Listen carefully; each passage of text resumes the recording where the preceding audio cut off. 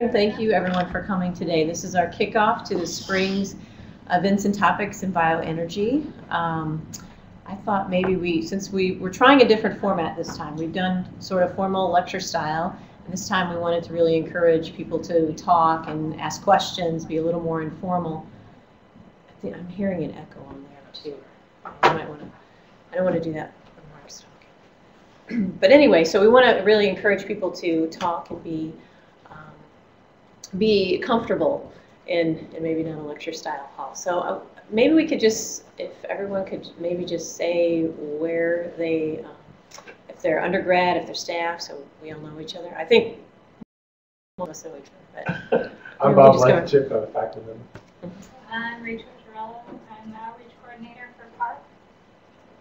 Sean Kovach. I'm a PhD student in energy, environmental, and chemical engineering. Uh, Leon uh, in AEC PhD student. Arun, PhD student in chemical engineering. Okay. I'm Chris Sherman, I'm a staff for research technician in Bioscience. I'm Jeanette Bush, I'm a research scientist in Ursula Goodenough staff. I'm Chad Denny, a staff member with iCares. Hi, I'm Suzanne Louie. I'm staff with iCares. And I'm Natalie Goodwin Frank. I uh, work for iCares, which is a um, center run by Bob Blankenship. Um, yes, with You PARC. said I care. Oh, I said iCares. Well, phrase. I have to correct you on that one now. No, that, that's too big to let go. For PARC, the Photosynthetic Antenna Research Center. All right, so um, I just wanted to also let everyone know if you're interested, there is um, another event on February 21st. Come on in. Hey, Liz. Hi. Um, at Schlafly Bottle Works, we just learned about this, and this is uh, a kickoff to the Missouri Coalition uh, for the Environment's initiative to bring people for to lobby uh, at the state capitol. Which so the the uh, rally day is uh, February 21st at Schlafly Bottle Works from 6:30 to 9 o'clock. We've got that posted on our website, and then the uh, day that they're going to lobby at the state capitol is February 29th. And there, if you're interested in going, they do have carpools. I saw that one. And what is lobbying for? Um, for, they're just lobbying, they've got a variety of issues, uh, sustainable local agriculture, clean energy, green schools, things like that. So it's all policy. Um, also, uh, we are planning as part of the Events and Topics series, uh, two tours, this in uh, March and April. We're going to the Missouri Botanical Garden, and we're also planning a trip to Tyson Research Center. So please stay tuned for those. They will be scheduled very soon. And we'll, all- that will probably conclude our spring events and topics series, and we'll continue in the fall again as we did last year. And today we are pleased to welcome Mr. Mark Henson. He is adjunct faculty member in EECE and also PhD candidate.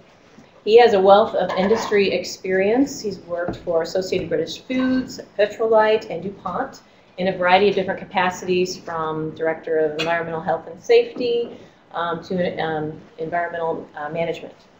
He has a bachelor's degree in chemical engineering from Cooper Union, as well as a master's degree in chemical engineering from Carnegie Mellon. So with that, I am pleased, thank you again, Mark, for joining us today in My our pleasure. new setting and our experiment, as you said. I'll turn it over to you. Thank you very much. Well, thank you everyone for coming out today and happy Valentine's. Um, As you can see from my title slide, uh, the main topic I'm going to be talking about today is some computational modeling work I've been doing on uh, the production of microalgal biodiesel. Uh, But before I get deep into making biodiesel from algae, uh, talk a little bit about me and how I got to where I am now, uh, standing in front of you talking about this topic. Uh, a little bit of background information on biofuels in general, and then get into discussion of producing biodiesel specifically from single cell algae and what's motivating the work. Uh, the tool that I'm working on, which I call the Telsim for lack of a better name, we'll come up with something a little catchier, I think, uh, as we get a little further along. But I'll talk about the model and how it's structured, the process model uh, in terms of uh, how we actually propose to make the fuel from algae, and uh, how we've gone about populating the model initially, what I call the test scenario, and uh, what we propose to do with the model uh, once it's done. So uh, I had a little bit of an introduction. Natalie, thank you very much. Uh, not much more I wanted to add to that, uh, to say that my initial interest when I was in school was in polymer and polymer chemistry. Went to work for the biggest polymer manufacturer in the world, and of course, throughout my career at DuPont, never did anything remotely related to polymers. Um, I spent time at uh, several manufacturing sites on the Gulf Coast, where in fact they do make polymer intermediates. Um, and it was around that time, uh, the, primarily the middle 80s, when the chemical industry was becoming subject to a lot of new uh, regulation that flowed from the Clean Water Act, Clean Air Act, the Resource Conservation Recovery Act. Um, and I was charged with trying to help these factories figure out how they were going to manage waste streams that previously had been simply discharged into the environment. So that began my transition into the environmental field. uh, developed some innovative technologies which the company uh, was interested in seeing whether or not there was any potential market for. So I was moved from the Gulf Coast up to the company headquarters in Delaware. Uh, found out that there wasn't a big enough business potential for DuPont's taste. Uh, and then worked in a couple of other environmental businesses that DuPont runs, including a commercial hazardous waste treatment business in New Jersey and an external environmental management consulting business. I was then, in 1993, I was recruited away to come work in St. Louis for a mid-sized specialty chemical company called Petrolite, and I was the director of uh, environment, health, and safety for them until they were acquired by a competitor, and actually they already had someone who did my job.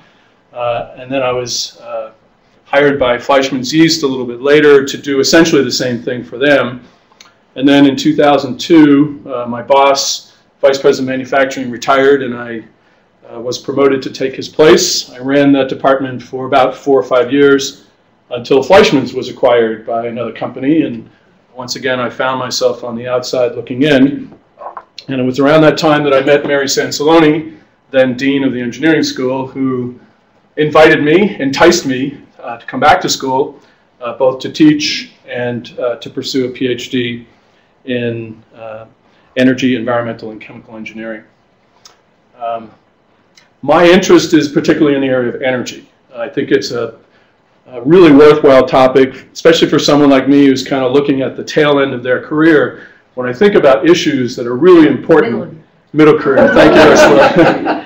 and it could be in the academic environment, I could probably extend it uh, a lot longer than I could in industry. Um, but when I look at the landscape today, look at our situation kind of on a global basis, I, I really am concerned about the nexus of energy and environment and our seeming unabatable addiction to cheap fossil fuels. And it makes a lot of sense to think about biofuels as an alternative to fossil fuels. If you think about it in the most uh, abstract and simplest terms, the carbon is absorbed out of the atmosphere, it's converted into biomass, we harvest and burn that biomass, the carbon is simply released back into the atmosphere, and it's a beautiful natural cycle, right? No accumulation of carbon dioxide in the atmosphere. But this is really an oversimplistic way of looking at biofuels. There's something very important missing from this flow chart, and it has to do with this activity down here at the bottom, this harvesting activity, because there can be energy associated with the mere act of collecting, processing, and transporting the biofuel, right? So there could be carbon emissions associated with these activities that's not reflected in this closed loop cycle. Now, another way to look at this, I, I took these charts from some work that's being done um, at the Argonne National Laboratory. They're doing a lot of work on transportation fuels. And this captures a little bit more uh, explicitly this indirect energy consumption associated with the production of fuels. So what you're looking at here is how much energy does it take to produce a given amount of energy in the form of a liquid transportation fuel. On the left-hand side, we're looking at corn ethanol, and on the right-hand side, a conventional fossil fuel, um, a diesel-type fuel, right? And you look at, you say, wow, you know, this only takes three quarters of a million BTUs of fossil fuel input to produce a million BTUs of ethanol, whereas we're looking at a substantially larger amount to produce an equivalent amount of energy in the form of a petrofuel. I tend to look at this a little bit differently. So imagine a scenario where rather than bringing in some external source of energy to drive these processes, what if I was to take some of the fuel that I produced and use that as my energy source to cover these expenses, so to speak? Well, think about it. I've used three quarters of a million BTUs of the million BTUs that I produced to produce that. So you go back to the corn, in essence, I'm, I'm using the energy content of three bushels of corn to get the energy out of the fourth, right? So it's a rather low yielding process. If you actually do the math on this side, it's around 18%, and that's actually quite high. Uh, other fossil fuels, depending on the amount of processing that has to be done, the, the transportation distance can be well less than 10% of the fuel energy to uh, cover the processing costs. This is a chart that shows a variety of energy sources from the same perspective, the energy return on investment. In other words, how much usable energy do I get divided by the amount of chem chemical energy, non-sunlight energy, uh, required to produce that amount of fuel. And you can see things like hydro and fossil fuels that have pretty high ratios of the amount of energy returned for the amount of energy required to process and produce and transport those fuels. And you can see where biofuels tend to fall. I'm pretty low uh, in terms of this ratio. And there is actually a very important breakpoint, a threshold for this value, this energy return on investment or net energy return, and that's one to one. Right? Think about it. If this number, the energy return on investment, is less than one, it means I'm getting less energy out of the fuel that I produced than the energy I had to put into it to produce it in the first place. So I go back to my scenario before where I'm using part of my fuel to cover the energy cost associated with producing the fuel. If this ratio is less than one, there's no way I can even cover the cost of producing the fuel in the first place. And when I say cost, I mean energy input required. Now, another aspect uh, similar to this energy issue is carbon. And carbon is going to essentially have a similar sort of behavior as energy. So what I've shown here is a study that I did where we're looking at a uh, coal-fired 500 megawatt plant, electric power plant near Kansas City. And the study was to take 10% of the coal away and replace it with a biofuel to see what would happen, right? And as you can see from the combustion side, again, if we assume that on the combustion side, the carbon is closed loop, right? So there's no net carbon emissions compared to the amount of carbon released by the coal. What I want you to look at here is a comparison of the production and transportation carbon emissions from producing and moving coal. And in this particular case, the coal that this power plant is using is from the Powder River Basin. It's very clean coal in Wyoming about a thousand miles away from the power plant where it's being burned to produce electricity. Whereas the wood pellets that that uh, coal is being replaced by is all produced locally with forest residue, right, in the five counties surrounding the power plant. Yet, even though the transportation distance is so much lower, look at the magnitude of the greenhouse gas emissions associated with producing and transporting these, these two fuels roughly three times as much. So these are just a couple of things I want you to think about. Um, I've also, just for the sake of uh, education here, the incremental cost, wood pellets are considerably more expensive than coal. If I took the uh, greenhouse gas emissions reduction and spread that over the, the incremental cost, the equivalent value of a ton of CO2 equivalent emissions reduction is about over $110. So in other words, I would have to have a subsidy or a carbon tax of that magnitude for this to financially break even. Or if I took that cost and spread it over the cost of the electricity and passed that price or cost along to consumers, it would raise the price of electricity by about 10%. So a 10% substitution of coal with a biofuel leads to a 10% increase in price of electricity. So Mark, what's the source of the high production amount and the? Processing wood pellets is actually a pretty uh, intensive process. So it's the collection of the material and then the formation of these pellets by uh, pressing, right? Uh, So it's a rather energy-intensive process just in the collection of this very diffuse, dispersed material and then running it through the process to produce a fuel that is compatible with current combustion technology. This 10% limit is actually imposed by the coal plant itself. To go beyond a 10% substitution would involve significant capital investment at the coal plant to accommodate an alternative fuel. And the reason you say zero on combustion is just because that is Yeah, because we're, we're neutral, you're assuming that that's been taken out of the atmosphere in the years during which the during which the wood grew. However, there's an interesting, coal, just, to- let me follow up one more time. And the coal line there, is, is that just ten percent, or is that? That is just the other 10%. Ninety percent, or no? no, That's- this is just the 10% that's being replaced. I see. Oh. So So it's your a net one-to-one- gain is two hundred and ninety, what, million? Uh, Million? 290,000 uh, metric tons per year of CO2 equivalent, uh, greenhouse gas emission or warming potential, right? So yeah, clearly, there's a major. You get major, a major benefit. you get a major benefit, right? Right. Uh, Neglecting this small detail. So uh, again, a couple of points I want you to think about as we talk about biofuels. Typically, biofuels have a pretty low net energy return. Uh, the material is often dispersed, has to be collected, and oftentimes has to be processed in some way to make it a compatible fuel with our current uh, power generation technologies. Carbon neutrality really only applies to the combustion and not to the total life cycle of the fuel. And these indirect emissions can be quite significant.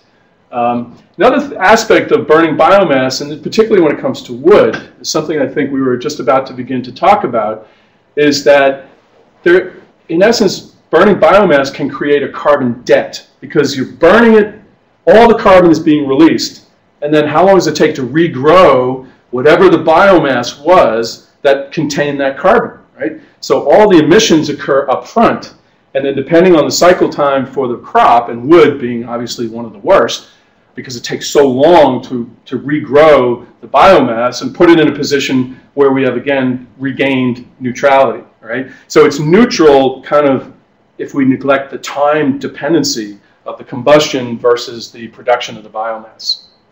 And then finally, there's uh, depending on the energy content and the type of fuel, uh, it can involve a really significant amount of land area to produce a meaningful amount of biofuel that would replace our uh, current uh, dependence on fossil fuels. So nothing that I've said changes the fact that clearly we need some alternative to fossil fuels. And given the modes of transportation that we rely on today, um, these are going to be typically liquid transportation fuels, right? So I can't put a battery in an airplane, not yet anyway, right? Maybe I could put a battery and have an electric car, but it's a little bit hard for me to imagine that we can do away with liquid transportation fuels for all modes of transportation that we rely upon uh, in our society today. Biofuels may be a very uh, significant and appropriate part of the mix of fuels that we rely on in the future. We're already committing substantially to corn ethanol and vegetable oil uh, as a precursor for a biodiesel. So then the logical question is, is microalgae and biofuels derived from microalgae also a potential option to our uh, dependence on uh, fossil fuels? Uh, this is from a review article that focused in on why uh, microalgal biofuels might be a really attractive alternative to the first generation biofuels. And one of the big controversies about corn ethanol and vegetable oil uh, derived diesel is that you're creating competition between food and fuel, right? So the same land area that's used to grow crops that could potentially feed people, we're proposing to divert into production of fuel. And this is at a time when there's still a substantial population in this world that goes hungry. Right? So one of the advantages of microalgae is that it can be farmed on non-arable land, so it doesn't compete with the valuable uh, alternative products, food, fodder, fiber, and other things that we derive from natural crops. Algae are very productive organisms. Some species have doubling times of less than 24 hours. They can be produced year-round. So the yield that one might expect from a given plot of land uh, with algae is substantially higher than with other forms uh, of terrestrial crops. Um, algae can also use degraded water. Uh, some algae are marine uh, species, so they can grow in saline water. So uh, an advantage potentially of algae over other terrestrial crops is that it doesn't put the same stress on fresh water supplies. Uh, nutrients can be derived from that wastewater um, or degraded water, and algae can accept uh, CO2 in a concentrated form, such as a flue gas from a power plant or a cement kiln or other forms of industry, whereas terrestrial plants, we rely on passive absorption of CO2 from the atmosphere. Now, while there are some perceived advantages, there are also some pretty significant challenges associated with microalgal biofuels. Not the least of which is that, unlike conventional agriculture, um, producing algae is really going to be a much more highly engineered operation. Right? It's not simply putting seed in the ground and letting nature take care of it for us. Uh, these systems are going to be large, capital intensive, and as it turns out, could be uh, rather energy intensive in and of themselves. And unfortunately, there are no large scale commercial biofuel from algae operations in existence yet. So we don't have any benchmarks where we can go out and say, yes, it can be done at this cost with this energy penalty and this carbon footprint. So it's really unproven yet. Now there are a lot of ways that algae could conceivably be converted into a fuel. I've shown uh, some of them here. And the one I'm the most interested in and my work is focused on is this one down at the bottom. Uh, essentially, we're going to grow algae, extract the lipid fraction, primarily in the form of triacylglycerides, and then transesterify them with methanol to produce what is essentially a drop-in uh, transportation fuel that can substitute almost directly for uh, petroleum diesel. Now, algae, as I said, is not grown yet at commercial scale for the production of fuels, but it is grown for the production of some specialty chemicals, uh, primarily nutraceuticals, but beta carotene, omega fatty acids, and other similar high value nutraceutical compounds are produced commercially using algae. And as I also mentioned, biodiesel is currently being produced from vegetable oil. So we know that from an engineering standpoint, we should be able to link these two together. And I think it's a safe assumption that commercial scale biodiesel production from algae is technically feasible. But if that's the case, then there are some really important questions that we need to ask about the viability of such a process. Yes, it may be feasible, but what's its energy return? How much will biodiesel for microalgae cost? And what are its environmental footprints, uh, namely carbon and water?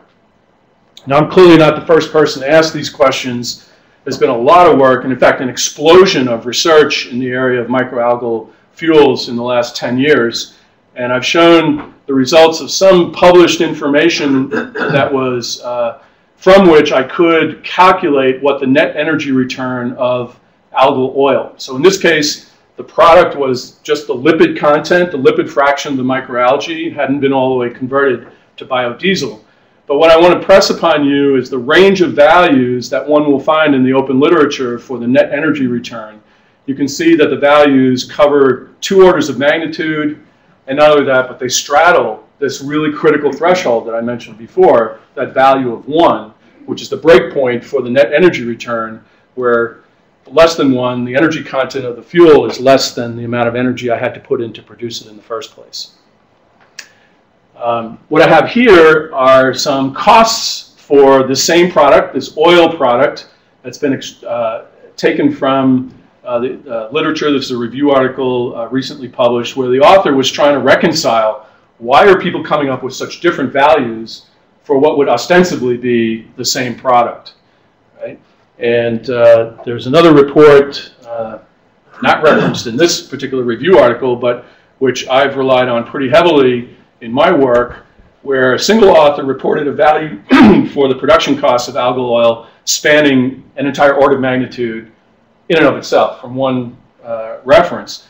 And the reason for this very wide range is this author took credit for the fact that if wastewater was used as a source of uh, supplemental water to help close the water balance and nutrients, that that would significantly reduce the cost because in essence you would get paid for treating the wastewater, right? So that's the credit that's being applied there, and that's how it can be so cheap. But in essence, this facility was sized to treat wastewater, not to produce biofuel. So it's a very small facility uh, relative to what we would need to produce a meaningful amount of biofuel.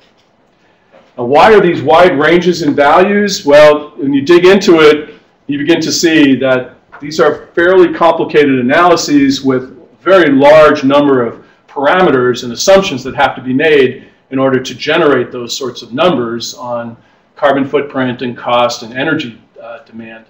Uh, different algal species were used, different processing schemes, different scales of operations, different inputs and outputs and system boundaries and so on and so forth. So it's very hard to look at the literature and say, is this viable or not? Is this attractive or competitive or not? And that provides a pretty powerful motivation to provide some single tool with which all of these different parameters can be investigated and probed to determine which are the ones that are really driving cost and environmental impact and so forth, right? So what we're trying to do is develop a tool that we can systematically evaluate all the options that might uh, present themselves, including the biology, the engineering, and the economics? So that we can identify what are the key performance metrics and make sure that our energies and our R&D efforts are focused on the things that can really make a difference, right? We don't want to spend our limited resources working on things that really aren't going to change the uh, environmental impact or cost or uh, energy footprint of uh, this process. And we also really would like to get some idea. Where are these numbers, right, in these wide, wide ranges of costs and energy footprints? Uh, we'd really like to have some idea of uh, where these systems can operate. So I have developed the first uh, order model. It is uh, essentially complete. We're calling it the TELSIM for the Techno-Economic Lifecycle Inventory Model. We've elected to implement this model in Microsoft Excel. Uh, Excel is a very accessible tool. Most technical professionals are quite comfortable working in that environment. And it has some features that really worked to my advantage as I was developing the tool. Um, you can drop graphics and text and uh, pretty much anything you want right into the spreadsheets where the calculations are uh, delivered. Um, it allows me to put uh, background information and explanatory information right embedded in the calculation blocks where uh, the, the hard work is being done. And also, because there are separate worksheets, reference materials or derivations of particular uh, equations or approaches to uh, aspects of the process can be described without cluttering the actual workspace of the model. So for the next couple slides, I just want to introduce you to the architecture of the model. How does how do the computations flow? At the heart of this TELSIM is the process model? So what what process for making microalgal biofuels are we attempting to describe? We describe that process by use of conservation laws, material and energy balances, and performance equations that describe how the unit operations that comprise the model behave. Uh, with user inputs, which is primarily the amount of carbon to be converted and other uh, system parameters, physical and chemical properties, the algal strain and the nutrients that I'm going to use and other user inputs, the process model will predict material and energy inputs and outputs. So it's basically a flow sheeting program that tells us how much nutrients we need, how much carbon will be emitted, so on and so forth. And from that will uh, be calculated what the direct energy use is inside the process and how much carbon is being emitted as a result of what's going on within the battery limits of the plant. The next layer of the model is the economic model, which basically uses straightforward cost accounting and capital cost scaling algorithms to estimate what the operating cost and capital cost for uh, this facility will be. Again, the user will input information here such as unit prices for the raw materials. So I have a nitrogen source, I have a phosphorus source. I'm going to be buying ammonium nitrate and phosphate. Well, that would be the type of input that I would put in in order to figure out what that is. Capital cost, uh, as long as there is a basis plant, so I have a capital cost for a plant or a unit operation at a particular size, then we use simple scaling uh, algorithms uh, to calculate what those costs would be for a facility of a different size. And then finally, the third layer is the lifecycle inventory model, which again uses simple emissions accounting and energy accounting practices to uh, estimate what the indirect energy uses are. What I mean by that are the energy and carbon emissions associated with the raw materials and the capital equipment.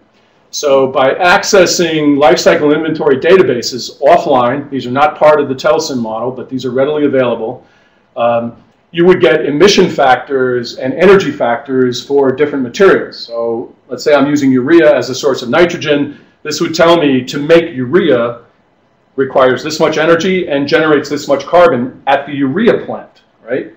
And similarly, with this economic input-output life cycle assessment model uh, hosted by Carnegie Mellon University, um, I can probe this model with a given amount of capital investment or economic activity and using data from the EPA and the Department of Commerce, what that does is predict the amount of carbon that would be emitted and the amount of energy that would be required for a given level of economic activity. So for example, I know that my plant will use a million dollars worth of steel pipe. I can probe this to say how much carbon is emitted when a million dollars worth of steel pipe is made. And it tells me that. And by aggregating these indirect emissions and carbon, uh, carbon emissions and energy uses with the direct within the pipe, uh, the plant battery limits, I get a total cradle to gate life cycle inventory of the energy required to make my algal biodiesel, as well as the carbon emissions associated with that. So again, that, that phrase cradle to gate. The gate, the biodiesel leaves. I'm not concerned with what happens to it afterwards, but everything that happens upstream of that, including the transportation activities necessary to deliver those raw materials to the factory, are encompassed by this uh, model. Okay, so that's the architecture of the overall computational tool. Let me tell you a little bit about the process model that's the basis for our calculations. Right? So this is this four-step process is the consensus model for how biofuels, in particular biodiesel, would be made using microalgae as our, uh, our production vehicle. Right? So you have four steps. Basically you grow the algae, you harvest it from the aqueous medium in which it's grown, you extract the lipid fraction of the cells and then convert the lipid from uh, triacylglycerides to fatty acid methyl esters. Fatty, fatty acid methyl ester, esters, or FAME, is a, essentially a drop-in substitute for petrodiesel. Now, based on my experience in the food industry and uh, work done by other authors, I decided to add a fifth step to this fundamental process scheme, that being anaerobic digestion of the residual biomass. The oil content of algae typically runs in the range of, say, 25% plus minus. So in that case, 75% of the biomass is a byproduct, right? And we want to recover some value from that, and it could conceivably be sold off as a byproduct. A lot of people are proposing it would be a good animal feed. But for the purpose of our process, since the oil that's recovered is essentially pure hydrocarbon, all of the nitrogen and phosphorus that's embedded in the algae remains with the residual biomass. And through anaerobic digestion, we can recover a good uh, fraction of that and make it available for recycle back to the growth step, thereby lessening the amount that I need to buy in in the form of raw material.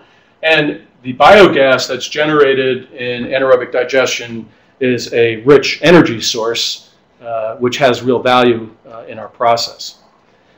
So I, being an engineer, I like to see pictures of things. I want to get a visual impression of what this is going to look like. So real quickly, I just want to give you a visual impression of what these processing steps are going to look like.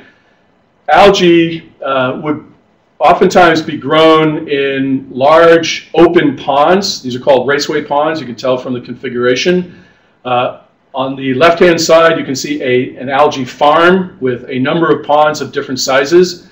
And on the right, you can see uh, two ponds, one full and one empty side by side. The empty pond gives you an idea of how shallow these are.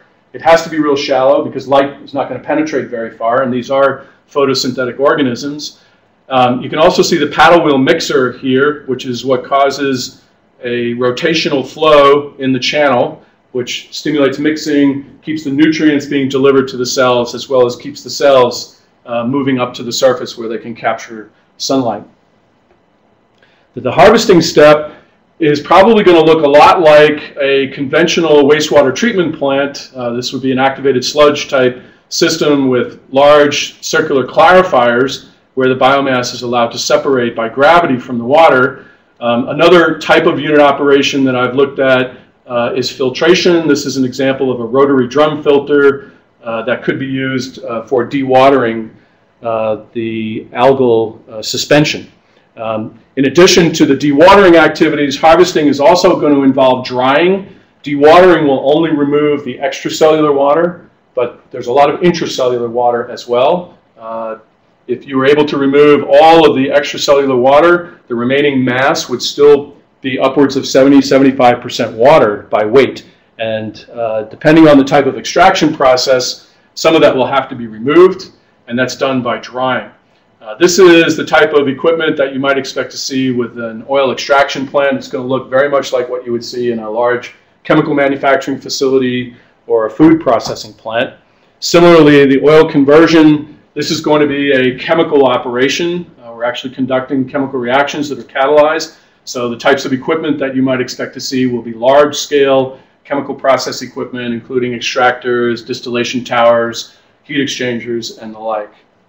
Finally, the anaerobic digestion step, uh, what's envisioned are unlined lagoons covered with a plastic cover to capture the biogas, uh, to prevent it from escaping to the environment and providing that rich source of energy uh, that can be used in the process.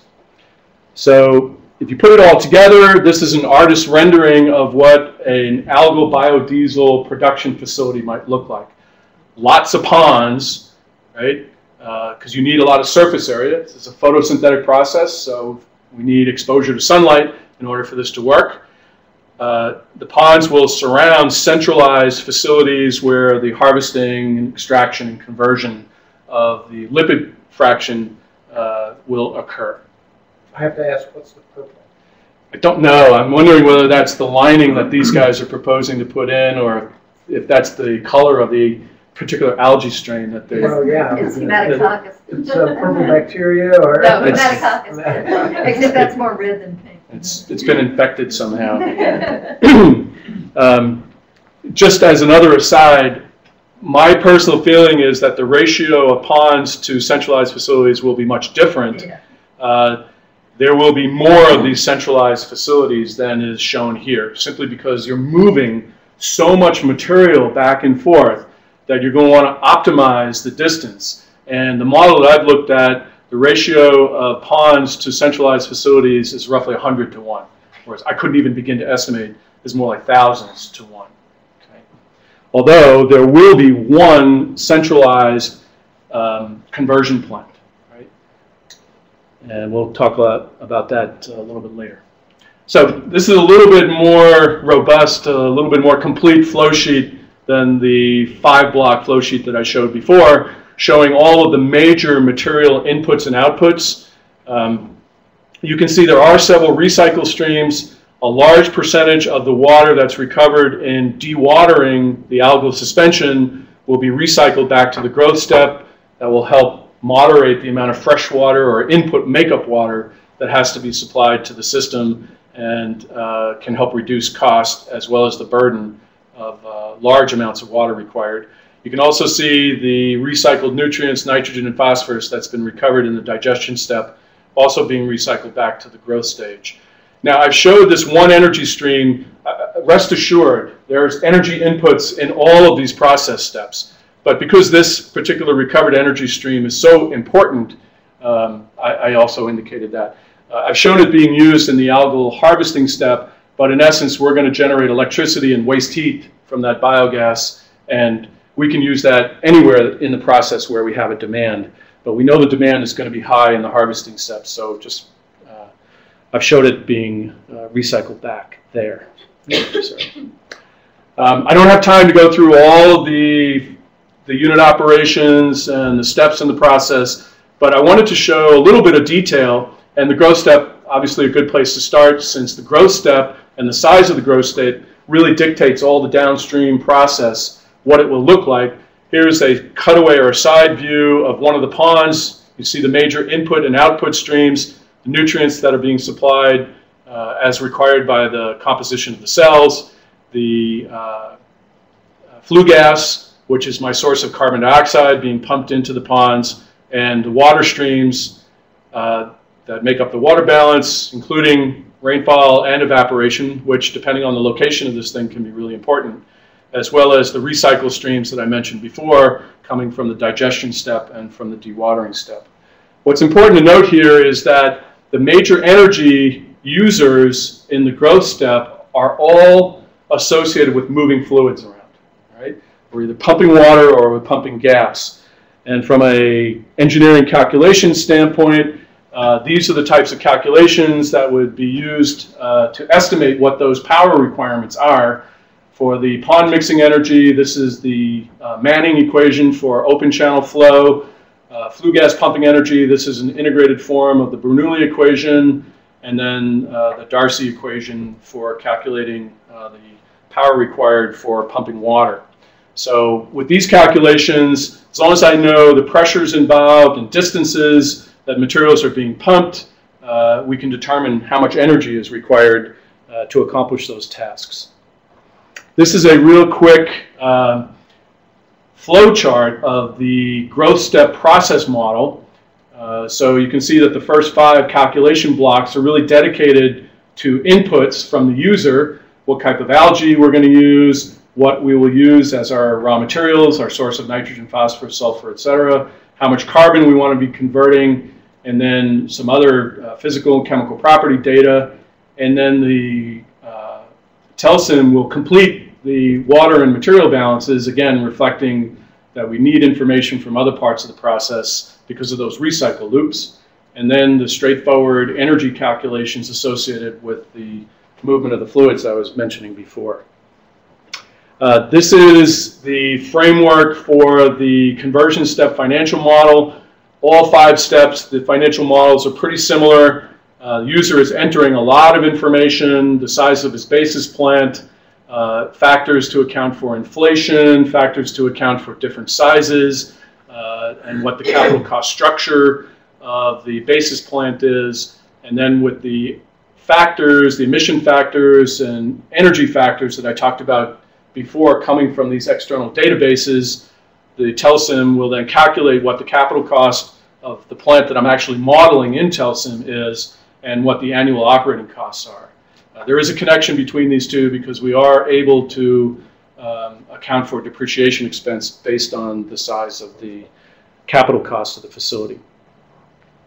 Uh, the life cycle inventory model, similarly, uh, I've, I've, shown the one for the harvesting step, but again, they're very similar for all five of the process steps. But basically, the user is bringing in emission factors, energy and water use factors for the various inputs, such as electricity, natural gas, uh, raw materials, and then uh, transport modes and distances so we can figure out what the carbon emissions and energy consumptions are associated with delivering our materials.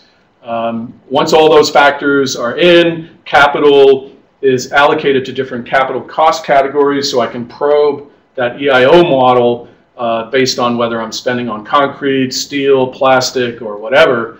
Uh, the model will then um, determine based on the size of different streams and the financial breakdown what the total greenhouse gas emissions, energy, and water uses are for this particular plant.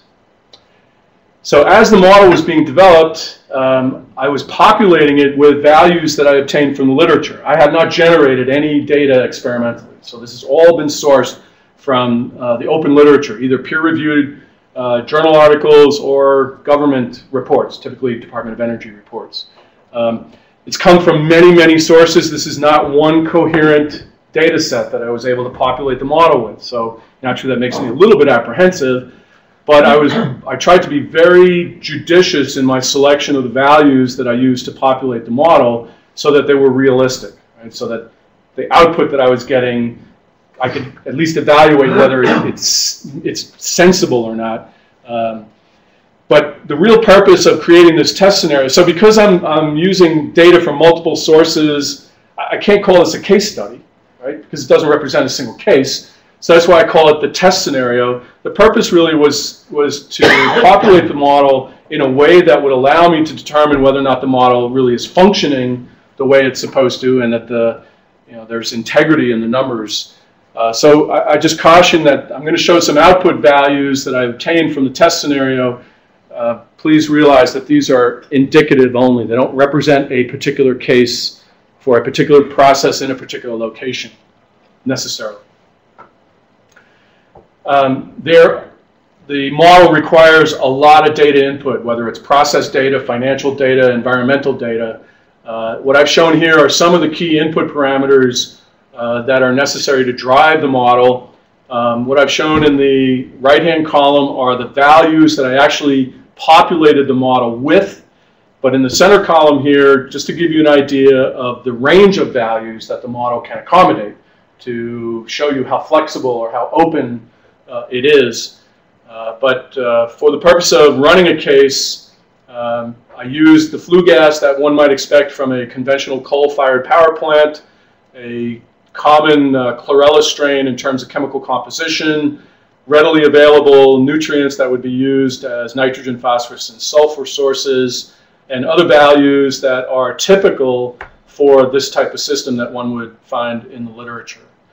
Since the system can accept sewage as part of the water balance, I have included 100 million gallons per day assumed uh, uh, sewage, treated sewage, not raw sewage, but treated sewage.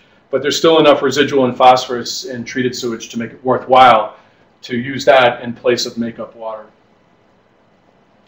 So when I run the model with that input and all the other inputs uh, that I've used, these, this is the sort of output that I got. So my basis plant, a one gigawatt coal-fired power plant, in order to process the carbon dioxide coming from that plant, of course only during daylight hours, photosynthesis shuts down at night, right?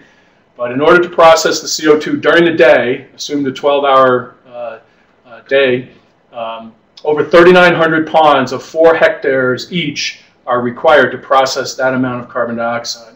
The total pond area, 162 million square meters. When you ratio up from the pond surface area to the total facility footprint, it's about a 1.25 multiplier to account for other process equipment, roads, pipe bridges, et cetera, et cetera.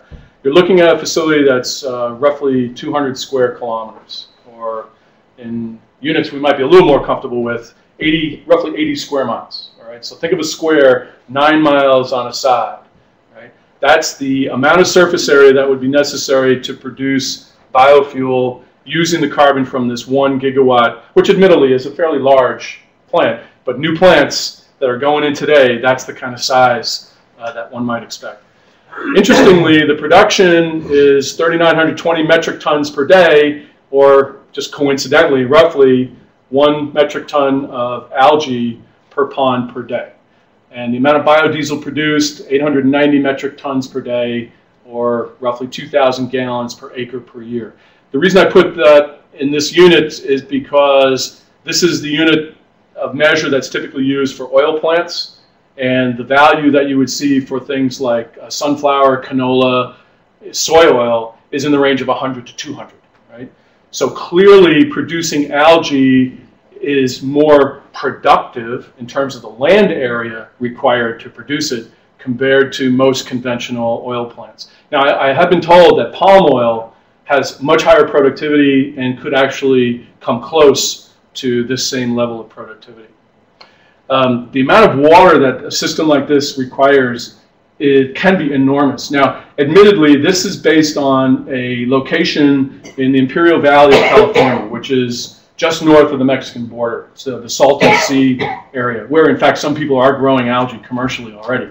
Um, the evaporation rate in this particular part of California is enormous. So the loss of water in the system is on the order of 230 million gallons per day. And the total makeup, including the 100 million gallons per day, of treated sewage is over 330 million gallons of water per day. So you can imagine the stress that that's going to put on local water resources, whatever they are, even if they're impaired water resources. To consume a third of a billion gallons of water a day is going to put tremendous pressure on whatever the water source is.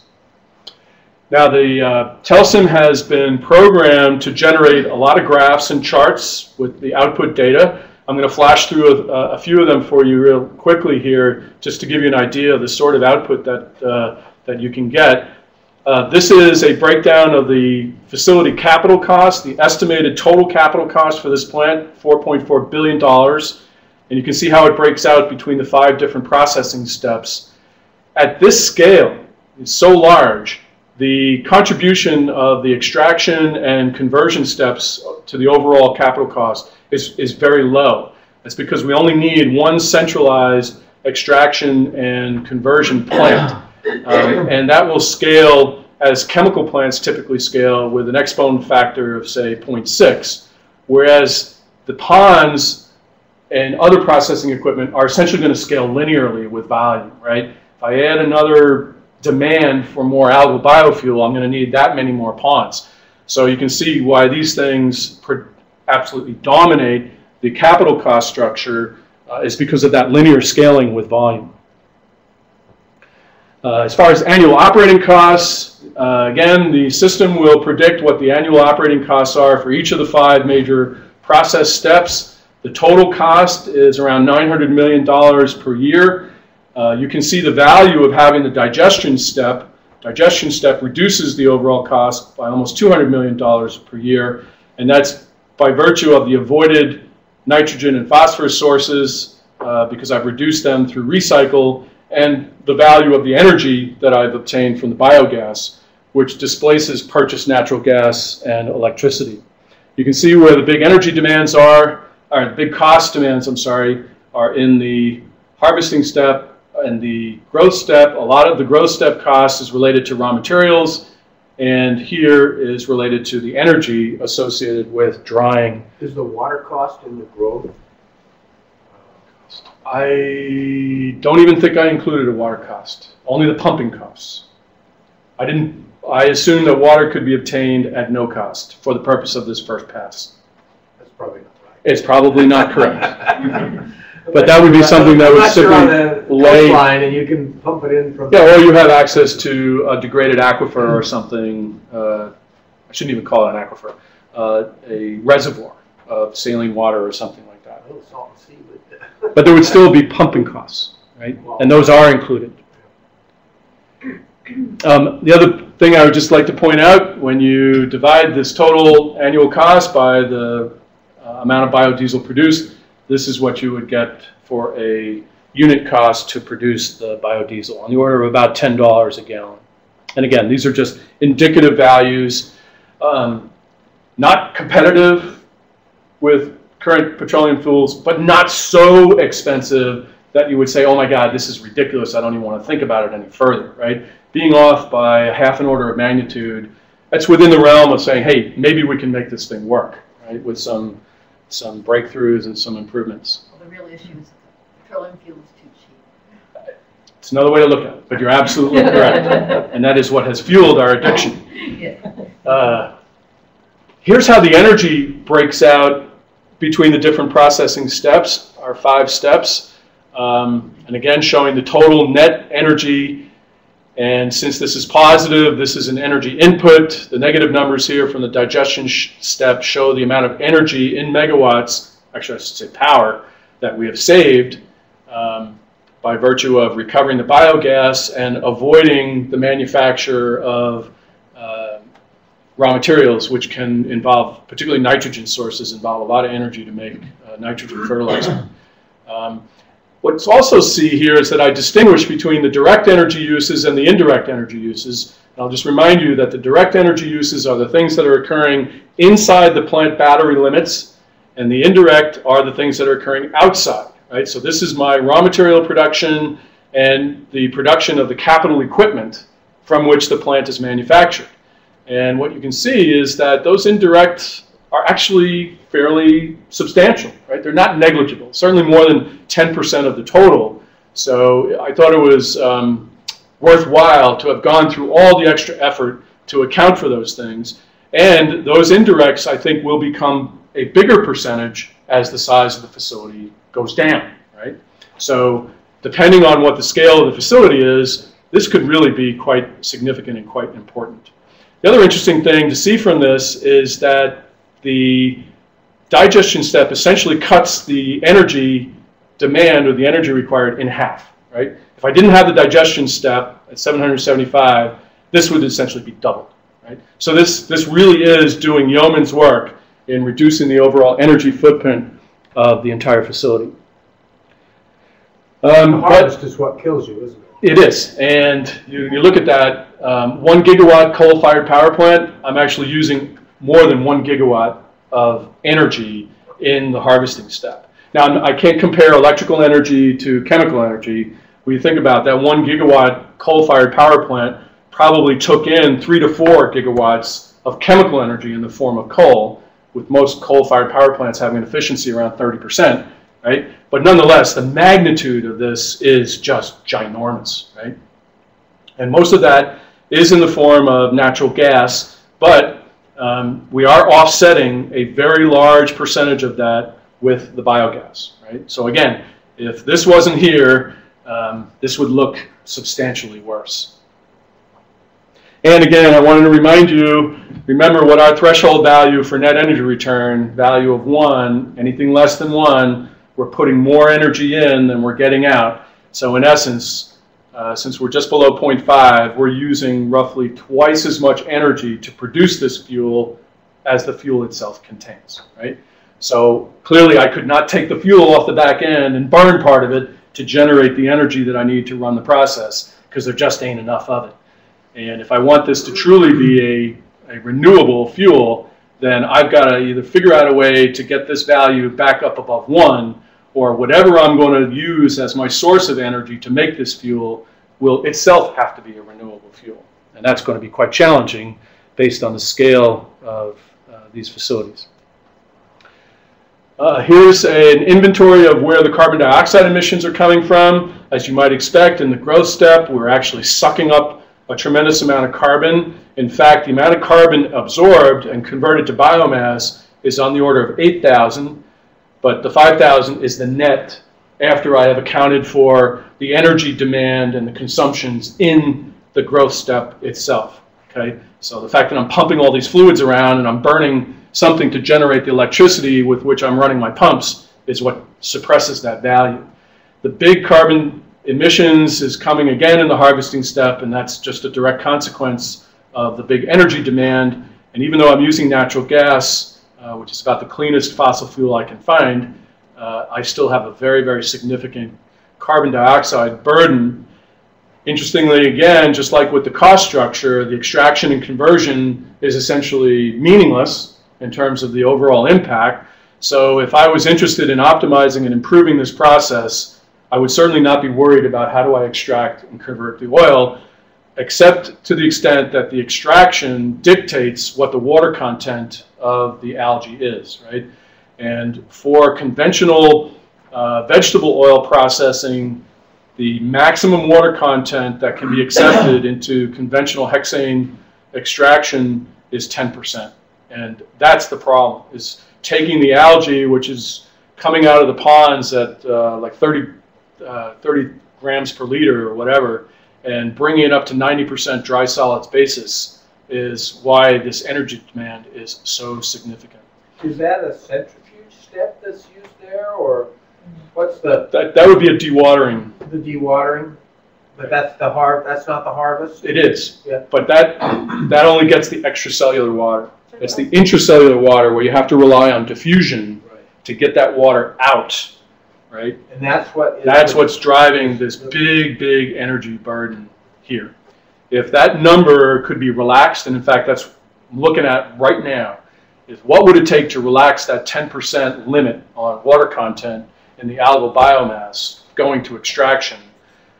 See, what I'm worried about is that you're going to have to get that water out somewhere, somehow. And all I may be doing is playing a shell game, right? I may be moving it from here to here, right, unless there's something fundamentally different about the technology. Overall, added up, and what we have is that uh, we are actually emitting carbon, right? So this is not carbon neutral, it's not carbon positive, it's carbon negative, right? So we have a net carbon dioxide emission from producing the fuel. And I haven't even accounted for the carbon emitted when I burn the fuel. So I assume that that's going to be a, a, a roughly even trade with petrofuel. Right? So the amount of carbon I would emit to the atmosphere burning this fuel is essentially going to be the same as burning an equivalent amount of petrodiesel. So uh, that describes the model, some of the output that we're getting from the model, some of the implications of what we're finding from our test scenario, and where we think we need to focus. As I mentioned, the extraction step is really important. So future work, we're beginning to frame some case studies that we want to run uh, where we would have coherent data sets reflective of a single location. Um, the other thing that's really interesting is there is a trade association uh, called the National Association for Advanced Biofuels and Bioproducts, or NAB, which is strongly promoting the development of algal biofuels. And they have published a set of goals or targets um, for R&D in this area. And what we want to do is uh, apply those goals in the model to see what difference they would make, right? So even if these goals are achieved, what would that do to the carbon footprint, the price, and all the other things? The other thing is that I, I, I think some of these might be uh, really difficult to achieve. Uh, less than 0.75 gallons of water per gallon of biodiesel, based on our Southern California case, we're around 2,000 gallons of water per gallon of biodiesel. There may not be a place in the United States where this could be achieved in an open system. So you're almost by default have to run a closed system or a photobioreactor to achieve that. And that would be really interesting to know, right? 10% um, of fuel energy content, right? So instead of an NER of you know, 0.47, we're looking at an NER of about 9, right? So again, a very substantial um, improvement, and I'm not quite sure how this would be achieved. So some of these are clearly inputs to the model. Some of these are outputs, right? So I'm not quite sure exactly what we're going to be able to parameterize versus what we're simply going to have to accept as an output of the input parameters that we've chosen. There's been some really interesting work on the viability of algal biodiesel production going on at the Pacific Northwest National Lab under uh, Dr. Mark Wigmosta. And uh, what I've shown here are a couple of maps of the contiguous 48 states of the United States where his team has run uh, some using geospatial uh, data, weather data. Um, they have predicted what the productivity of an open algal system would be uh, based on the weather and uh, uh, surface data, in other words, the slope of the land and suitability and so forth, with the highest productivity being in red and the lowest productivity being in purple, right? Over here, what they have done is looked at the annual water, predicted water consumption for the production per gallon of oil produced, right? And again, with purple being the lowest water consumption and red being the highest. And the results are a little bit surprising. Whereas most people seem to think that the best place to grow algae is in the southwestern part of the United States, in fact, that is not the best, even from a productivity standpoint, but you would absolutely be killed on a water basis. And that's what we were seeing. so what you want is you want purples and reds over here, and I'm sorry, you want red over here and purple over here. And if you just do a quick visual comparison, it actually looks like Florida might be the best place to go. The Everglades. Oh my Yeah. Um, but northern Florida and the Florida Panhandle looks like it might be among the most um, promising locations in the continental United States. Uh, and so we want to look at perhaps modeling a site in that location. Um, now, th that's applying the model. Clearly, uh, there are lots of opportunities to make improvements within the model itself. Uh, We have some rather simplistic uh, biophysical models for heat and mass transfer in the ponds and for the microalgae growth. I do have a very simplistic photosynthetic model based on the amount of incident photosynthetically active radiation and certain assumptions about yields, how much algae you can grow. And that's essentially what Wigmosta put into his model. It, it, it agrees not too badly, uh, surprisingly well, but I'm sure with Bob's help I could, I could make that better. Um, I have assumed a certain process flow sheet for making uh, algal biodiesel, but there are a lot of ways to skin this cat, and uh, I could add more options for different ways of processing the material so that a user could uh, construct a variety of different processing schemes to see how uh, they would perform. And there's a lot of really interesting suggestions about how to grow the algae, some of which I think are a little counterintuitive. But as I mentioned, photobioreactors, um, closed systems to avoid evaporation, but it introduces a lot of other problems, and not the least of which is these are very expensive compared to digging, you know, big pits in the ground. Uh, some people are proposing to grow algae uh, heterotrophically in fermenters using sugar as a substrate, glucose. Again, I have some concerns about that because now I've added a whole nother set of processing. Uh, I have to grow a crop, whether it's sugarcane, sugar beets, or corn. I have to extract and recover the sugar and then feed it again to another biological process. It's hard for me to imagine how that would be better than what we're doing with the, the model, but it's worth exploring, as are um, some interesting uh, temporal feeding systems to try to promote lipid content. It has been found that uh, lipid production will go up when the cells are starved of nitrogen, but what I'm also finding is that that can often be at the expense of cell growth, right? So I'm basically converting some of the biomass uh, from uh, things like saccharides, polysaccharides, to lipid, but I haven't really produced anything more but a lot of really interesting ways uh, that we can go with the model.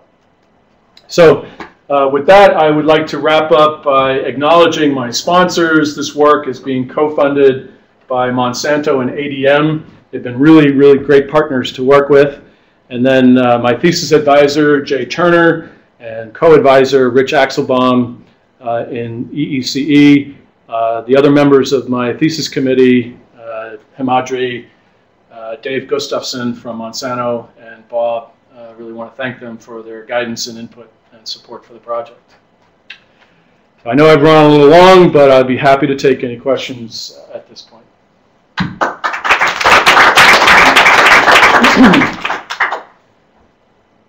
Shandor.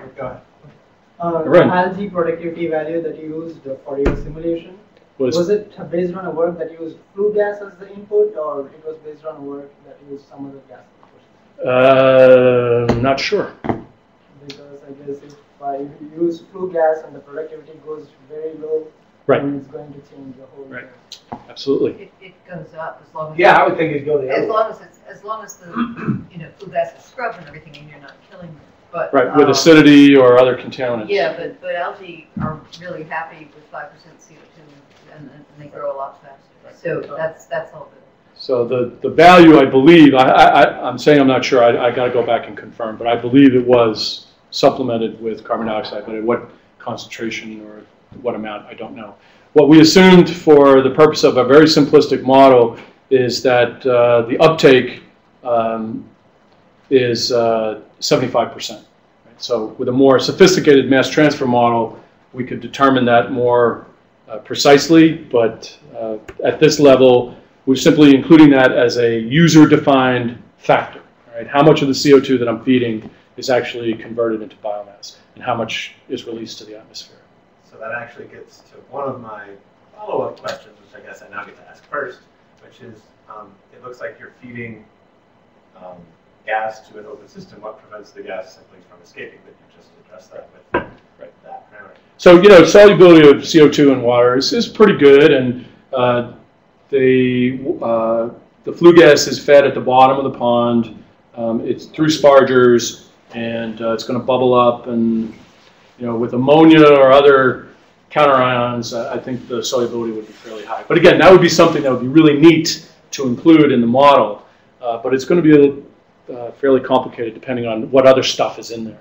Sure. So maybe just another basic question for those of us that are engineers and not biologists first. Why can't you just put a cover on top of these ponds to prevent water from evaporating?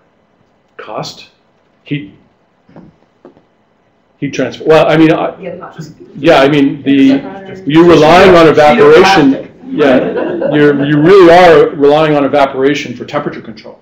okay. right?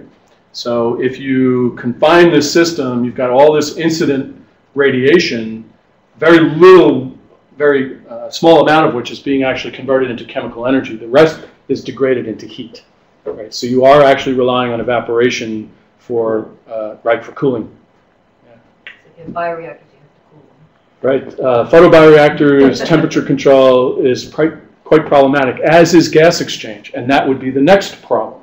How do I get rid of the oxygen that is being expelled by the cells as they are metabolizing CO2? And oxygen will become toxic if you can't get it out. So if I have closed photobioreactor systems, what you'll find is that at the end of each segment of reactor, they have little gas exchange systems where they introduce CO2 and, and sparge out the oxygen. So that would be another reason. Third, I think, is fouling, and you will begin to get cloudy, uh, uh, and then your light penetration through the plastic is going to be attenuated, and your productivity is going to be uh, impaired. And if you give me more time, I'll think of another reason. But I like to think of things in threes. I have a simple question, just because I'm unfamiliar, but with the raceway ponds, do they continually harvest, or do they harvest it all at once? It, yeah. Is Oh, there multiple options? There are multiple options, and I think um, you have so many factors that you have to concern yourself with, not the least of which is invasion by wild types with parasites and predators and other things. So, what I think might be a very viable arrangement is to have closed uh, inoculators, essentially. So, I'm going to grow an inoculum in a closed system and then seed the ponds from time to time I will figure out what the maximum runtime, and then I will harvest continually until I can't do it anymore, dump the system, clean it, and then restart. So it's going to be kind of like a semi-batch or uh, not a truly continuous fermentation. Ursula? So this thing about the nitrogen starvation, so um, I don't know of any algae that make any significant amount of uh, tag as long as they have good nitrogen. So you're pretty much stuck unless you find the magic algae that I don't know exists yet, or you engineer uh, with letting them grow as much as they can, and then they will use up the nitrogen uh, anyway and start making their tag at that point. So the nitrogen starvation isn't uh, a bug; it's a feature. Um, you, you pretty much have to. You have to do it, huh? You have to do So- it because that's the way the cell's metabolism is set up. Right. So they, they make this stuff, uh, they don't make it when they're Yeah. growing. So taking stuff out while they're growing, uh, Is isn't, a viable isn't gonna work Yeah. unless you have an alga that I don't know about. So, no, so now we're getting into some real sequential processing, and it reminds me of Well, sequence that, that reactors. I don't think that's a problem. No, No, it's just, it's just, You- it's just a little bit more- pond, You wait until it, Yep.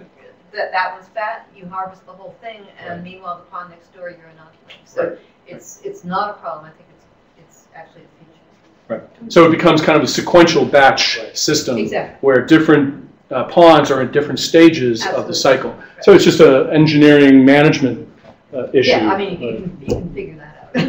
Well, yeah, I'll have to figure out how to model that. Well, no. Because this is a, a steady state, you know, Yeah, we're basically state. using global values that represent time averaged over, you know, long periods of time. But a, a real, a real, speaking again as a biologist, one of the things that I don't think nearly enough attention is being paid to is getting the algae to uh, grow to high density before they quit. So Absolutely, that would be. The cells per mill thing is, and then the other thing is in cells per mill, um, I haven't, I think that a lot of more thinking needs to be done about why you need so much guardian water.